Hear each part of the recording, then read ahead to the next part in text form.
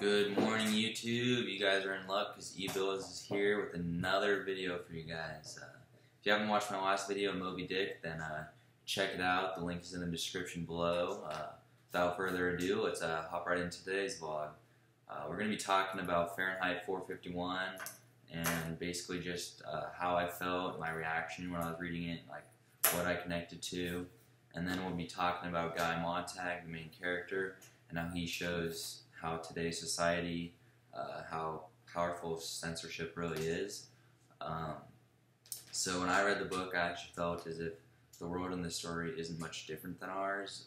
It's really just an exaggeration of what could or would happen if Hitler won the war uh, or if communism took over.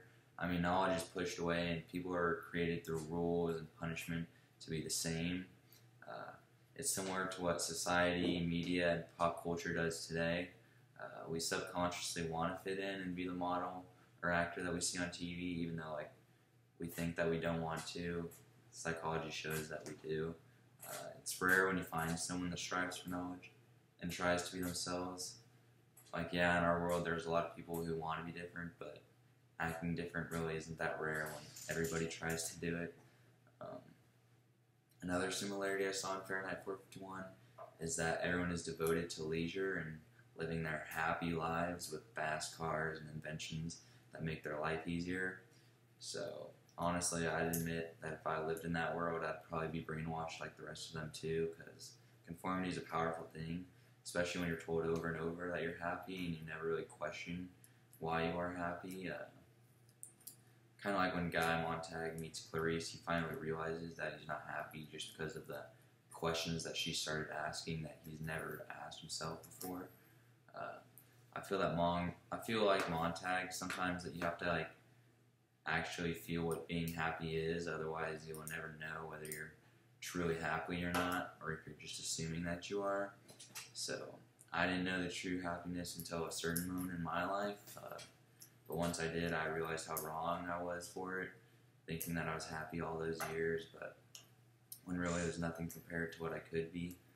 Um, so that's basically what I connected to in uh, Fahrenheit 451 overall while I was reading it. Um, now I'll jump in and talk about Guy Montag and how he changed throughout the story since the whole book's based off his beliefs and how he dealt with society telling him what's right versus wrong. Um, so in the beginning of the book, he was obedient and he does what most people would do, just listening to their superior who pays them, not really caring if what they're doing is right or wrong.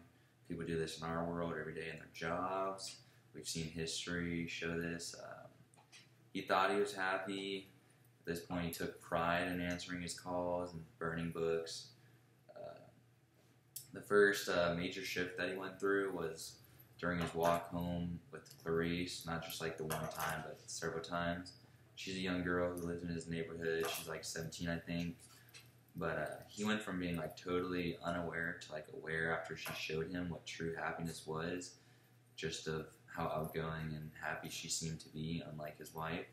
Uh, she started like asking him questions about life, asking if he was happy, and then he self-reflected on that later and started realizing things. Um, so after all these walk homes with her, uh, he started to develop like a hunger, a thirst for knowledge and seeked out true happiness and freedom, perhaps to be on the same level as Clarisse. I don't know.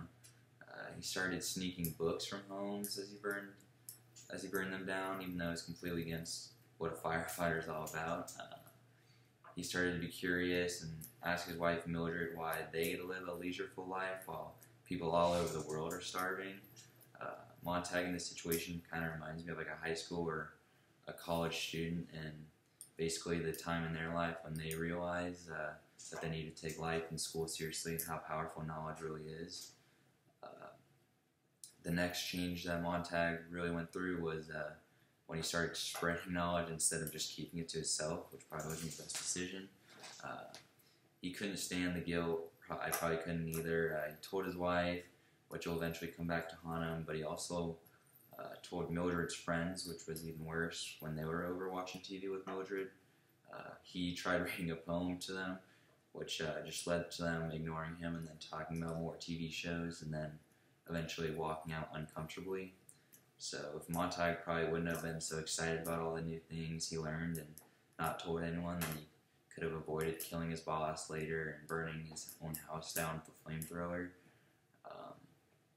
But luckily, he eventually uh, escapes escapes his death, uh, gets away from the mechanical hound, uh, and he ends up with a few people like him in the after the city was bombed. Uh, so overall, I think Montag changed very quickly after he met Clarisse, which kind of reminds me of many people, including myself, that have completely changed because of one person and what they've told me and the beliefs they shared with me. And so that's the connection I had to Montag and the whole Fahrenheit 451 book. And that pretty much wraps up our video for today. So I hope you guys learned something and will go read Fahrenheit 451 for yourself because it's a good book to open up your mind about some of the problems that are actually in our own world. And I think it's only like $10 on Amazon, so I'll throw a link in the description below. But thank you guys. Uh, subscribe and hit that like button if you want to do me a favor. I'm trying to hit 4,000 likes on this vid because I know you guys are amazing. So see you next time.